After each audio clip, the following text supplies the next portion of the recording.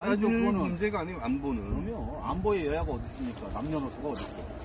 그 우리나라 실정. 환경이네.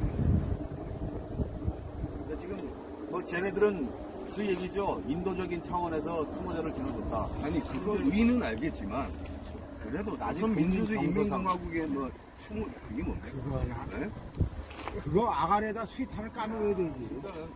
그래서 이제 저희가 표현하는 거예요. 니네가 인도적이라고 그랬으니까 인도적으로 보내자.